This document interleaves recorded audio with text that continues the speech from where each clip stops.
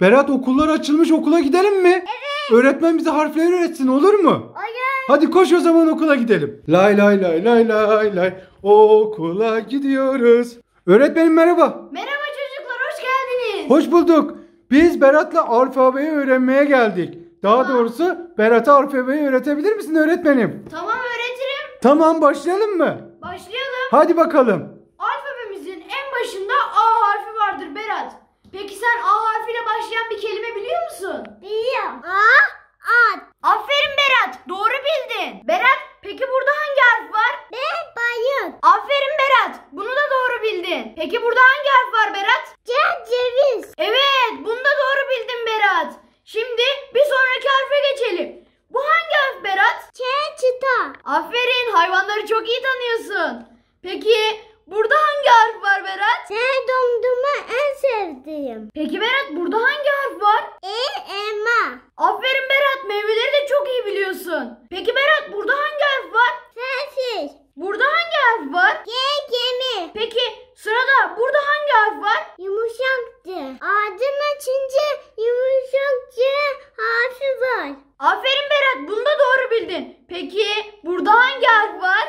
Haş, havuç. Çok iyi bildin. Peki burada hangi harf var? I, ışık. Çok iyi bildin tebrik ederim. Peki burada hangi harf var? İ, iğne. Bir sonrakine geçelim. Burada hangi harf var?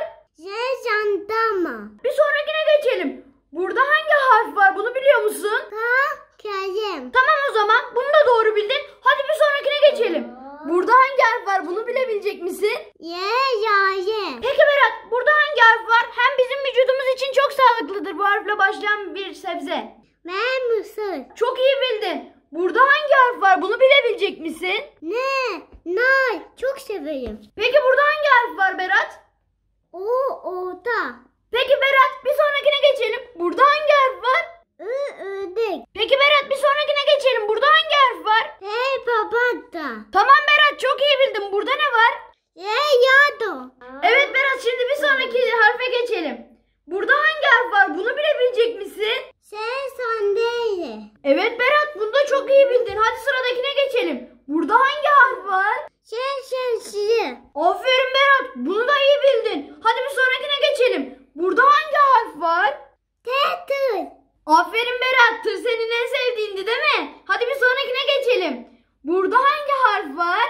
Uy, uy böceği. Bunu da doğru bildin Berat. Hadi bir sonrakine geçelim. Burada hangi harf var? Ü, üzüm.